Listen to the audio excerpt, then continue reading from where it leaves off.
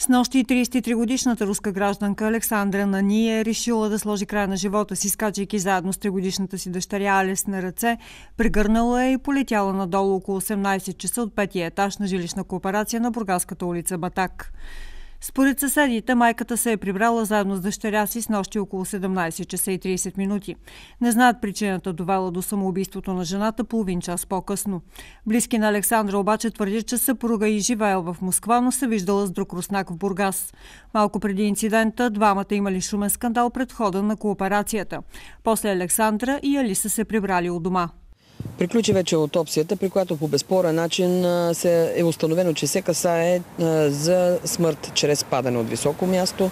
Вероятно, в две са версиите, които работиме, се касае за емоционален сев при жената или евентуално случайно падане от терасата, което към момента все още трябва да бъде доказано, за да може да се установи коя от двете версии е по-меродавна.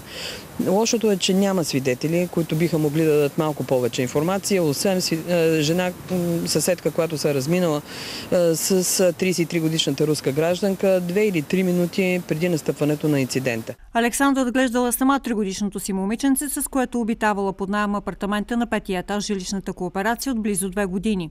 Сигнал за инцидента са подали съседи, които са си прибирали от работа около 18 часа и 5 минути.